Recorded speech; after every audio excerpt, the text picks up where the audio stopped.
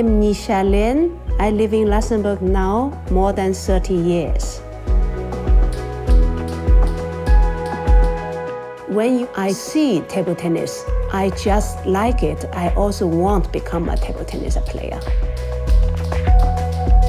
I'm very small size since I was young.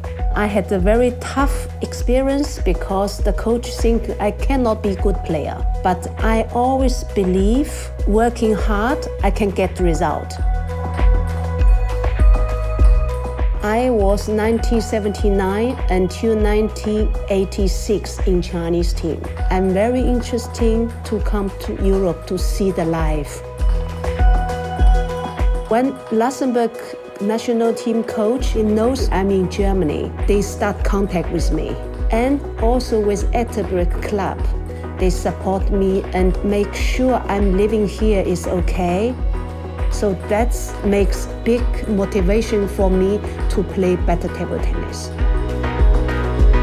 My husband is my coach. We travel a lot, but when I come home, I'm so happy, so peaceful. I enjoy my life very much.